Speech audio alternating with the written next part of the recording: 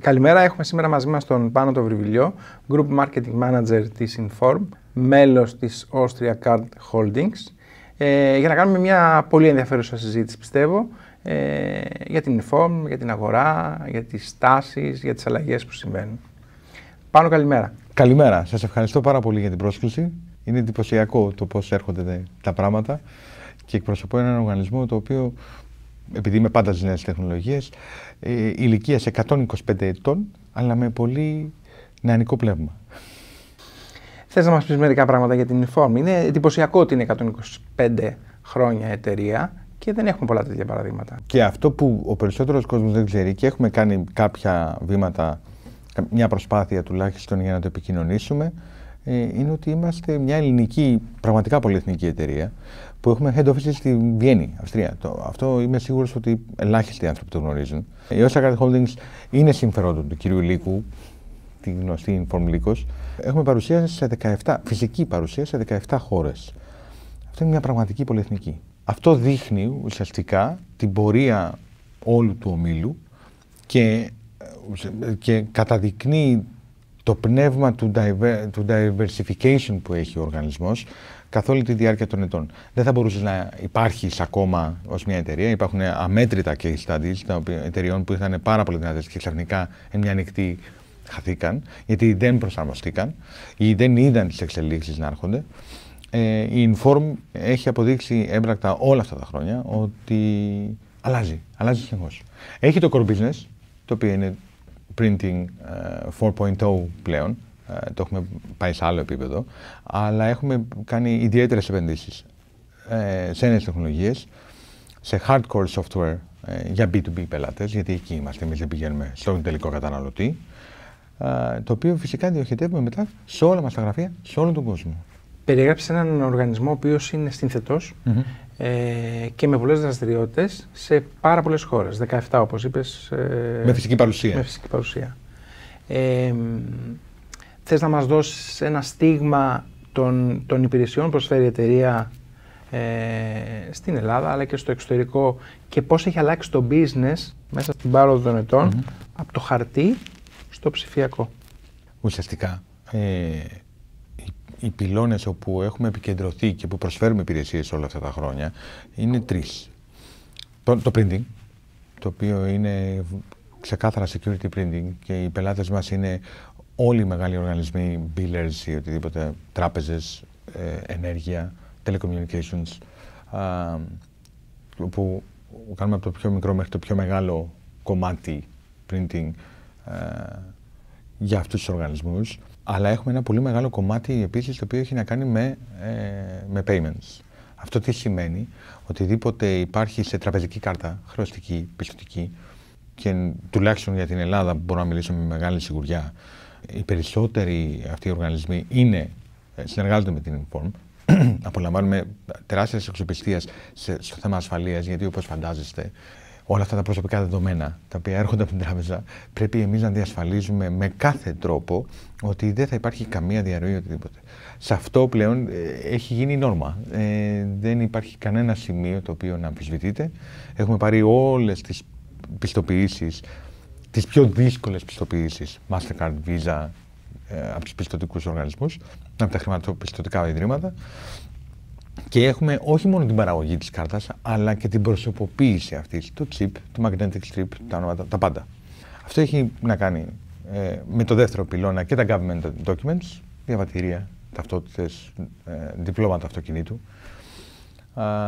και υπάρχει και το κομμάτι της ψηφιακής τεχνολογίας, η οποία έχει το digital onboarding, αυτό που λέμε ότι όταν ανοίγεις ένα λογαριασμό ή συναλλάσσεσαι με ένα οργανισμό και δεν χρειάζεται να πας στο κατάστημα, αλλά μπορείς να το κάνεις απευθείας από το κινητό σου ή από τον υπολογιστή σου ε, με τεχνολογίες biometric scanning, ε, να διασφαλίζουμε ότι αυτός ο άνθρωπος με τον οποίο μιλάμε είναι αυτός ο άνθρωπος και να ανοίξει ένας λογαριασμός, για παράδειγμα. Ε, αλλά και την αυτοματοποίηση διαδικασιών μέσα σε έναν οργανισμό. Από την πιο μικρή διαδικασία μέχρι την πιο περίπλοκη. Αυτό είναι ένα τεράστιο κομμάτι, ε, το οποίο βασίζεται σε τεχνολογίες robotic process automation. Είναι κάτι πολύ περίπλοκο που ακούγεται, αλλά τελικά, αν το σκεφτούμε απλά, είναι ρομποτάκια software τα οποία διασυνδέονται σε, όλες, σε όλα τα functions μιας εταιρείας ή ακόμα και με το τελικό κοινό, αν επιλέξει ο πελάτης, ε, για να μπορέσει να προσφέρει άμεσα, γρήγορα, χωρίς λάθη όλα αυτά τα οποία ζητούνται. Μπορείς να φανταστείς ότι εμείς έχουμε κάνει αυτή την όλη την επένδυση, έχουμε καθετοποιημένη διαδικασία ε, και έχουμε επενδύσει και σε ομάδες σε όλο τον κόσμο για να, προσφέρει, να προσφέρουν όλα, όλες αυτές τις υπηρεσίες. Και κοιτάμε πάρα πολύ και το κομμάτι της επαυξημένης πραγματικότητας. Αλλά ξαναλέω και το τονίζω σε ό,τι έχει να κάνει με το B2B κομμάτι εμείς δεν το παρέχουμε στο τελικό κοινό. Η, το augmented reality, η επαυξημένη πραγματικότητα πλέον είναι μια κατασταλαγμένη τεχνολογία. Δεν είναι ε, αυτό που λέγαμε του όχι αυτού του αιώνα αλλά του επομένου. Ε, και μπορεί να έχει χρήσεις σε πάρα πολλά επίπεδα. Στην Ελλάδα η εταιρεία είναι πάρα πολύ γνωστή ως Inform και προφανώς είναι και στο εξωτερικό με πολύ μεγάλη δραστηριότητα. Θες να μας πεις επιλεγμένα σε ποιες χώρες έχετε τη μεγαλύτερη δραστηριότητα και με ποιο τρόπο; Η Inform ε, είναι πάρα πολύ δυνατή στην Ελλάδα. Νότια Ανατολική Ευρώπη να το πω έτσι. Αλλά τα δύο βασικά της site είναι στην Ελλάδα και στη Ρουμανία. Έχει μια τεράστια επένδυση και στη Ρουμανία. Ε, όπου και εκεί είμαστε πάρα, πάρα πολύ δυνατοί. Σαν Inform. Σαν όμιλος όμως, ε, με τα ε, brands τα οποία διαθέτει η Osaka Holdings, σε όλες τις χώρες που δραστηριοποιείται είναι leader. Ενδεικτικά να πω ότι ε, στην Αυστρία, ε, όπου είναι και τα, τα head offices, η Osaka είναι ένα πάρα πολύ δυνατό χαρτί, η, η Tax Systems, η οποία ενσωματώθηκε στον όμιλο υπό την Osaka έχει στην Αμερική, στην Λατινική Αμερική και εξυπηρετεί fintechs, είναι, δηλαδή έχουμε μπει σε πάρα πολλά πεδία. Uh, στην Αγγλία έχουμε την, την Nightcrest. Uh, υπάρχουν πάρα πολλά brands και όλα ασχολούνται. Αυτό είναι και το καλό κομμάτι, βάζω μια παρένθεση, ότι όλα τα brands μας κινούνται και στο φυσικό και στο ψηφιακό κόσμο. Ε, ό, όλοι ακουμπά, ακουμπούν ο ένας πάνω στον άλλον για να μπορεί να μάθει και να προχωρήσει ο όμιλος. Οπότε είμαστε πάρα πολύ δυνατοί γενικά ε, απλά εμείς βλέπουμε πάρα πολλές ευκαιρίες σε όλες αυτές τις χώρες στο να ενσωματώσουμε υπηρεσίες, βλέπετε Inform, ε, στην Αυστρία ή στην Αγγλία ή στην Αμερική ή Tax Systems ή όσο να ενσωματώσεις τις υπηρεσίες στη Ρουμανία και σιγά σιγά να ε, κάνουμε enhance όλο αυτό το πορτφόλιο υπηρεσιών και να το ενοποιήσουμε συσσαγωγικά, να είναι μια κοινή πρόταση σε όλες τις χώρες του κόσμου με τον ίδιο ε, σοβαρό τρόπο ε, παροχής υπηρεσιών, να το, γενικά μιλώντας. Αλλά είμαστε δόξα τω Θεώ ε, ένας οργανισμός που αναπτύσσεται συνεχώς και δεν επαναπάβεται, και αυτό το, το εννοώ, δεν είναι κλισέ, σε κανένα σημείο. Άλλωστε η πορεία 125 ετών αυτό έχει δείξει. Ε, δεν είναι καινούριο. Απλά εμείς τώρα έχουμε επικεντρωθεί στο να επικοινωνήσουμε όλα αυτά τα νέα και ωραία πράγματα που κάνουμε, γιατί οι περισσότεροι μας γνωρίζουν για το printing και ε, λιγότερο για τις κάρτες, ε, ότι υπάρχει όλο αυτό το κομμάτι της ψηφιακής τεχνολογίας με πολύ προηγμένες τεχνολογίες ε, σε όλες τις χώρες όπου δραστηριοποιούμαστε. Αυτό είναι μια πολύ σοβαρή επικοινωνιακή πλέον στρατηγική, ε, την οποία θα υπηρετήσουμε, θα ήθελα να πιστεύω πολύ πιστά όλοι. Πρόσφατα ανακοινώσατε την εισαγωγή της Austria Card Holding στο ελληνικό χρηματιστήριο. Ποια είναι τα σχέδια, τι, τι, τι αναμένετε, τι, προσ, τι προσδοκίες έχετε για αυτή την κίνηση; Είναι μια πολύ ιδιαίτερη κίνηση και μεγάλο νέο. Η Austria Card Holdings ε, θα, θα μπει στο ελληνικό χρηματιστήριο όπως και στο αυστριακό. Ουσιαστικά αυτό τι, τι δείχνει, έχετε σαν απόδειξη αυτό που είπαμε πριν, ότι θα γίνει μια ενοποίηση όλων των πραγμάτων. Θα βρούμε τώρα τη στρατηγική ή οτιδήποτε, αλλά αυτό είναι κάτι το οποίο δυστυχώς δεν μπορώ να σας ανακοινώσω αυτή τη στιγμή. Αλλά είναι ένα πολύ μεγάλο, πολύ μεγάλο βήμα μπροστά, διότι εκεί πλέον θα μπει όλο το βάρος του ομίλου ε, με το όνομα του ομίλου και όχι της Inform, ασχέτως αν είναι ιδιοκτησίας λύκου ε, όμιλος, πίσω από την προώθηση και την επένδυση στις νέες τεχνολογίες ε, για όλο τον όμιλο. Είναι, για να σας δώσω να καταλάβετε, α, με πιο απλά ε, και πιο ίσως γνωστά ονόματα.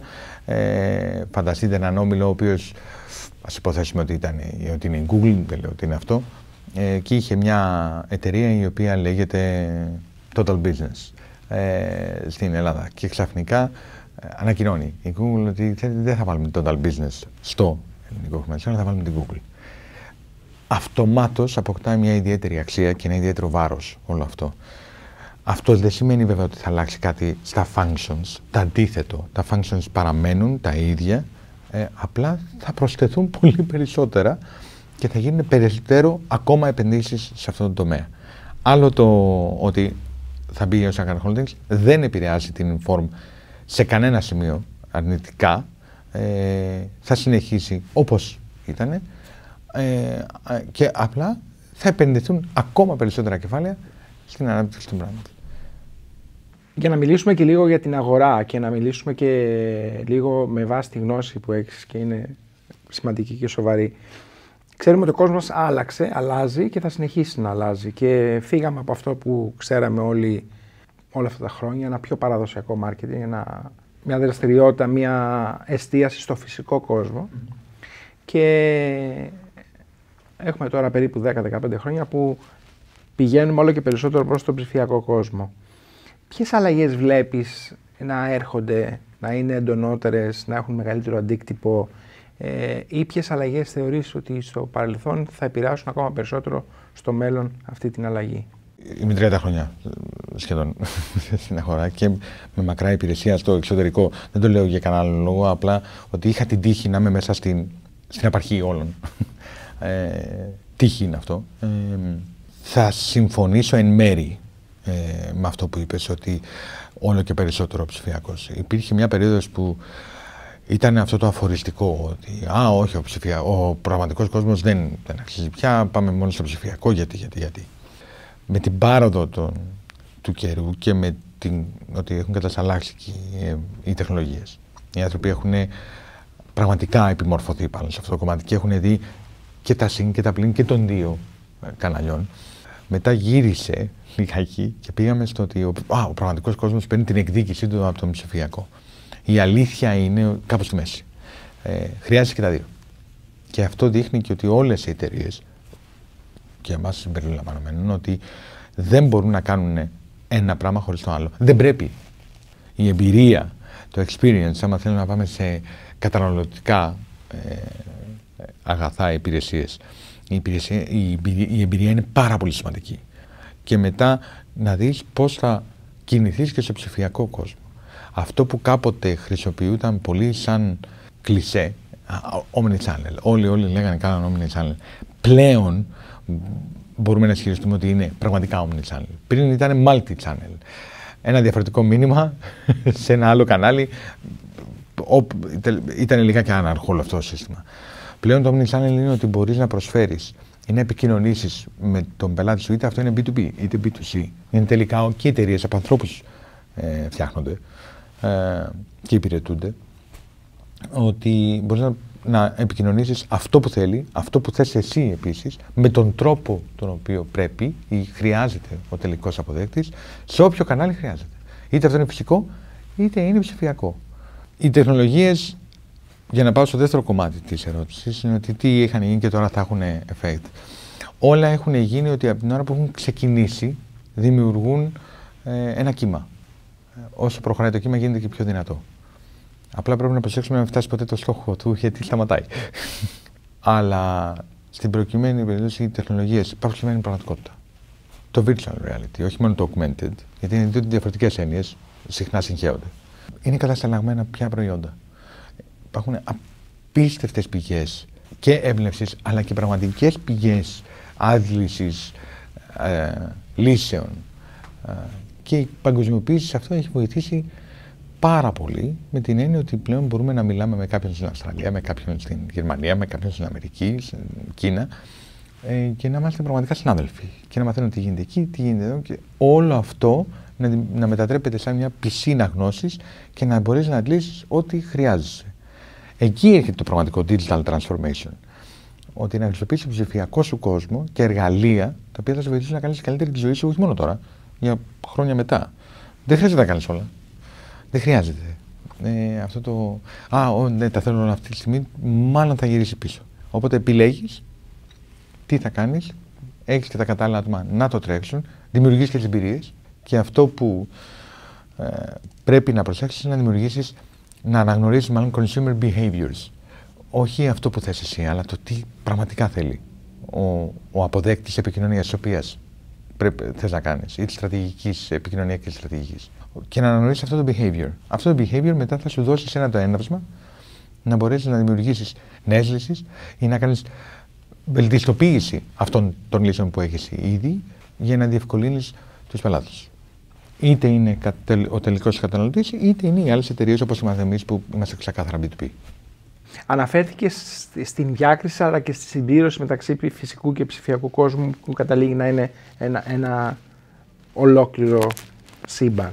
Και είναι σωστή αυτή η προσέγγιση. Ε, είσαι πολλά χρόνια στην αγορά και έχεις εμπειρία σε διάφορους τομείς, εδώ και στο εξωτερικό. Ποια αλλαγή βλέπεις εσύ ε, σε αυτό που αποκαλούμε σήμερα ολοκληρωμένο σύμπαν μεταξύ φυσικού και ψηφιακού κόσμου; Ή ποιες αλλαγές βλέπεις που στα επόμενα χρόνια θα επηρεάσουν πάρα πολύ την καθημερινότητά μας, τους καταναλωτές, τις επιχειρήσεις, την κοινωνία την ίδια. Κοίταξε, αυτό πρέπει να το εξετάσεις βασικά να το διαχωρίσεις. Είτε μιλάς για μια εταιρεία B2B είτε για μια εταιρεία B2C. Αν πάμε στο κομμάτι του B2C, ε, είναι πάρα πολύ θετικό το γεγονός ότι, όπως είπα και πριν, οι τεχνολογίες έχουν κατασταλάξει και βγαίνουν και καινούργια πράγματα. Σιγά σιγά, αλλά τα οποία είναι ουσιαστικά εξέλιξη αυτών που έχουμε πει ήδη. Δεν υπάρχει νέο disruption, είναι απλά βελτιστοποίηση ε, διαδικασιών βάσει νέας τεχνολογίας. Αυτό τι σημαίνει ε, ότι δεν μπορείς να κάνεις είτε το ένα είτε το άλλο ή να γίνει λίγο η ζυγαριά. Πρέπει να τα έχεις μαζί για να έχεις την καλύτερη δυνατή, ε, το καλύτερο δυνατό αποτέλεσμα. Αυτό είναι, δεν είναι πολύ εύκολο να το πετύχεις. Φυσικά υπάρχουν και περιπτώσεις όπου υπάρχουν επιχειρήσεις που είναι ξεκάθαρα online. Υπάρχουν περιπτώσεις όπως ε, άλλες εταιρείες που ξεκινήσανε, ενώ είναι ψηφιακές πλατφόρμες, ξεκινήσανε ξεκάθαρα offline ε, επικοινωνιακή στρατηγική και τώρα μπαίνουν στο online κομμάτι. Είναι λίγο παράδοξο να είσαι ψηφιακή πλατφόρμα να λειτουργείς με offline. Αλλά αυτό επέτασε το, πώς το, πω, το επιχειρηματικό μοντέλο τους. Και ορθώς. Και έχουν πάει και πάρα πολύ καλά. Πάρα πολύ καλά. Εγώ απλά πιστεύω ότι δεν πρέπει να υιοθετούμε αμέσως με το που βγαίνει κάτι. Α, επαναστατικό. Δεν σημαίνει ότι είναι, ε, έχει εγγύο αυτό. Ότι πάντα να περιμένεις. Το αντίθετο αλλά δεν χρειάζεται να κάνεις jump into the opportunity αμέσως. Πρέπει να αναγνωρίζεις ποιες είναι οι πραγματικές τεχνολογίες που σε βοηθούν. Υπάρχουν χιλιάδες εργαλεία. Δεν είναι όλα για όλους. Το λέω, συνεχώς θα το λέω αυτό.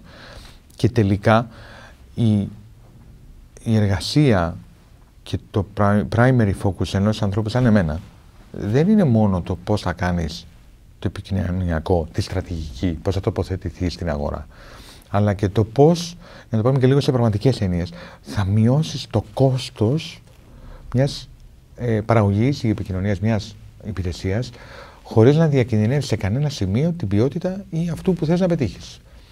Αν δεν το κοιτάξεις αυτό, τότε μάλλον ε, θα κάνεις κάπου λάθος και δεν είναι δύσκολο να ξεφύγει.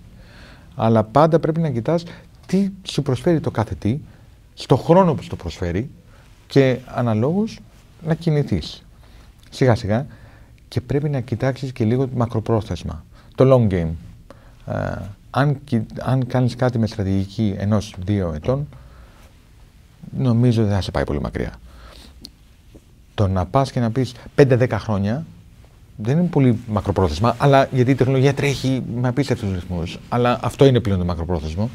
Αν κοιτάξεις αυτά τα 5-10 χρόνια, να φτάσει το maturity αυτό που θέλω να επικοινωνήσω και να λειτουργήσεις αντίστροφα, ε, τότε αυτό σημαίνει ότι θα μπορέσεις να βάλεις τα βήματα τα οποία θες να κάνεις και να τα κάνεις σε σωστό χρονικό σημείο. Αλλά πρέπει να λειτουργήσεις με μια στρατηγική συνέπεια και πάντα να έχεις στο μυαλό σου ότι πρέπει να εξυπηρετήσω το σκοπό του οργανισμού το οποίο βρίσκομαι. Για οποιοδήποτε λόγο. Δεν χρειάζεται να είναι επικοινωνία. Το ψηφιακό και το πραγματικό ε, και το marketing έχει να κάνει και με, και με το, την εσωτερική διαδικασία μιας εταιρείας. Το πώς επικοινωνείς σε όλο το προσωπικό σου αυτά που πρέπει να επικοινωνήσεις για να έχεις κοινή γραμμή στρατηγικής. Αυτό είναι ένα τεράστιο θέμα για όλους τους οργανισμούς παγκοσμίως. Δεν είναι τόσο απλός όσο ακούγεται. Δηλαδή, α, έστειλα ένα email, πήρα ένα τηλέφωνο και α, όλοι το υιοθετήσαν. Είναι πάρα πολύ δύσκολο. Πρέπει να χρησιμοποιήσει και εκεί όλα τα κανάλια και να λες ακριβώς αυτό που πρέπει να πεις με τον τρόπο που πρέπει να το πεις σε διαφορετικούς ανθρώπους. Για να μπορέσεις να διασφαλίσεις ότι αυτό που προσφέρεις και αυτό που θες να προσφέρεις ή που θες να τοποθετηθείς στην αγορά επικοινωνείται όπως πρέπει. Οι παρεξηγήσει είναι τεράστιες. Και σε έναν κόσμο που αλλάζει πάρα πολύ γρήγορα, μετά δυσκολεύει πάρα πολύ να το γυρίσεις. Απλά πρέπει να πλέον και το εκτός του μακροπρόθεσμου πρέπει να είναι και γρήγορες οι αποφάσεις. Θέλουμε να κάνουμε αυτό, κοιτάζει και παίρνετε η απόφαση. Αν τα αφήσεις λιγάκι, θα σε προσπεράσει. Και αυτό κλεισέ είναι, αλλά τελικά πλέον είναι πιο επίκαιρο από ποτέ. Μια κρίσιμη ερώτηση για το μέλλον είναι πώς θα είναι ο πελάτης το 2030. Ο B2B ή ο B2C πελάτης το 2030. Έχεις κάποιες σκέψεις; Γιατί ουσιαστικά εν τέλει και ο πελάτης B2C εργάζεται κάπου. Οπότε εξορισμού μπορεί να είναι και B2B πελάτης. Θα είναι ο ίδιος πελάτης που είναι και σήμερα. Αλλά θα τα θέλει όλα γρήγορα, θα τα θέλει με την καλύτερη δυνατή πληροφόρηση και θα τα θέλει να τα έχει και όχι μόνο σαν επιλογή, αλλά θέλει να τα έχει και άμεσα και να τον βοηθήσεις και μετά. Το καλό με τον ψηφιακό κόσμο είναι ότι υπάρχει μεγάλη ταχύτητα. Το κακό με τον ψηφιακό κόσμο είναι ότι υπάρχει μεγάλη ταχύτητα. Οπότε πρέπει να κοιτάξεις να μεταφέρεις ακριβώς την πληροφορία που θες. Ο πελάτης δεν κινείται σε όλα τα κανάλια. Πρέπει να, να τον πιάσει εκεί που είναι, εκεί που θέλει. Να του κάνεις την εμπορική πρόταση που θέλει. Το να μου δώσεις σε μένα να, να με στοχεύσει μια εταιρεία η οποία α, φτιάχνει super yachts και να με βομβαρδίσει με διαφήμιση, το μόνο που θα κάνει είναι να σπαταλήσει budget. Δεν θα πάρω ποτέ. Γιατί όχι ότι δεν μου αρέσει, αλλά δεν έχω και τις γνώσει. Πρώτον. Και δεύτερον, και όλα τα υπόλοιπα τα οποία χρειάζονται για να έχεις ένα super yacht. Είναι πολύ εύκολο να κάνεις το λάθος να, να, επιχει... να επιχειρήσει να στοχεύσεις σε ένα λάθος κοινό. Με την έννοια ότι, α, αυτό βλέπω ότι σε κάποιο σημείο θα είναι. Δεν είναι απαραίτητο. Ε, πρέπει να του δίνεις αυτό ακριβώς που θέλει, όπου το θέλει, όπως το θέλει. Είναι αυτό που λέμε ότι κάποτε υπήρχαν τηλεπολίσεις. Παίρνανε συνεχώς τηλέφωνα. Έγινε κουραστικό. Ε, πλέον και αυτοί που το κάνουν, το κάνουν πολύ καλύτερα. Έχουν καλύτερη στόχευση ή θα ήθελα να πιστεύω ότι το κάνουν. Αλλά ε, άλλοι το χρειάζονται μόνο μέσω emails ή μέσω uh, messengers. Τα messengers πλέον είναι ε, κοινωνικά δίκτυα από μόνα τους. Δεν χρειάζεται να είσαι στο, δηλαδή στο Metaverse, μέσα στο Facebook για να έχεις το Messenger ή το Viber, μπορείς να επικοινωνήσεις με οτιδήποτε. Το WhatsApp, όλες οι πλατφόρμες ε, στιγμιαίου ε, messaging είναι πλατφόρμες κοινωνικών δικτύων. Αυτό σημαίνει ότι όλοι μας κινούμαστε σε κάποια πλαίσια, ανεξαιρέτως, ανεξαιρέτως ηλικίας. Απλά οι νέες γενιές έχουν δείξει ότι δεν θέλουν να σπαταλήσουν και πολύ χρόνο να το σκεφτούν. Θέλουν την πληροφορία έτοιμη, εκεί και ότι μπορώ να το έχω μέσα στις επόμενες ώρες, μέρες. Ε, και ότι όντως το πήρα, αν μιλάμε για καταναλωτικά αγαθά, και ότι μπορώ, να, ότι μπορώ να υπολογίζω στην υποστήριξή σου ως εταιρεία για να με βοηθήσεις. Υπάρχει ένα case ε, γνωστής εταιρείας αθλητικών ειδών, όπου συνειδητοποίησε ότι καλό το ψηφιακό κομμάτι και καλά τα e-shops και η πανδημία σε αυτό λειτουργήσε σαν καταλήτης αλλά έχασε το κομμάτι της συσχέτισης του brand με τον πελάτη. Να υπάρχει μια επικοινωνία, μια σχέση. Τι έφτιαξε, έφτιαξε καταστήματα concept τα οποία δεν μπορούσες να αγοράσεις κάτι εκεί. Δεν υπήρχε ταμείο. Ήταν σαν ένα εκθεσιακό χώρο. Ε, εντυπωσιακά γραφικά, εντυπωσιακά όλα αυτά τα φωτισμοί και, και υπήρχαν σημεία όπου μπορούσες να δοκιμάσεις το παπούτσια και αν ήθελες να τα αγοράσεις, υπήρχαν touch points μέσα από το e-shop. Οπότε τα παρήγγελνε, έρχονταν σπίτι και πάρα πολύ ωραία. Ε, και υπήρχαν και augmented reality εφαρμογές που πήγαινε σε ένα booth και σου έδειχνε πώς θα φαίνεται ένα άλλο κωδικός. Γιατί δεν μπορείς να έχεις. Όταν έχει 25.000 διαφορετικά, δεν μπορείς να τα έχεις όλα σε ένα σημείο και μπορείς να σου δείξει μέσω από augmented reality ε, πώς θα φαίνεται πάνω σου. Αυτό είναι εντυπωσιακό. Αυτό έγινε πριν Αυτό είναι προ-πανδημία, φανταστείτε. Ε, πλέον, αυτό το θέμα της επαυξημένης πραγματικότητας έχει πάει σε πάρα πολλά κομμάτια και έχει εξελιχθεί. Ε, αυτά τα concept καταστήματα έχουν γίνει πραγματικά καταστήματα, αλυσίδα, σε όλο τον κόσμο. Ε, ε, οπότε δεν πιστεύω ότι θα αλλάξει πολύ ο πελάτης. Ο πελάτης είναι αυτός που είναι, που ήταν πάντα. Ε, θέλει την καλύτερη δυνατή λύση για την ανάγκη του με τον καλύτερο δυνατό τρόπο, όσο το δυνατόν πιο γρήγορα και στο καλύτερο κόστος. Δεν υπάρχει μαγικό ραδί. Απλά η τεχνολογία βοηθάει πάρα πολύ. δηλαδή, αν πούμε ότι α, όχι, εμένα θα στοχεύσω μόνο σε αυτό το κοινό, θα κάνεις μέγα λάθος. Γιατί τότε δεν έχεις αναγνωρίσει συμπεριφορές νέου κοινού, πιθανού κοινού. Ή, όπως θα έπρεπε να το κάνουμε, στατιστικά προβλεπόμενου κοινού. Υπάρχουν άνθρωποι οι οποίοι μπορεί να έχουν μια ανάγκη και να την καλύπτουν με κάποιο τρόπο, γιατί πολύ απλά δεν γνωρίζουν ότι υπάρχει κάτι άλλο. Πρέπει να τον αναγνωρίσεις εσύ αυτόν τον άνθρωπο και να εμφανιστείς μπροστά του. Με κάποιο τρόπο. Να του θέσεις το δίλημα, να του θέσεις την επιλογή. Και μετά ας κάνει την επιλογή του. Αλλά δεν μπορεί, να, δεν μπορεί να επιλέξει κάτι αν δεν γνωρίζει ότι υπάρχει. Έτσι δεν είναι.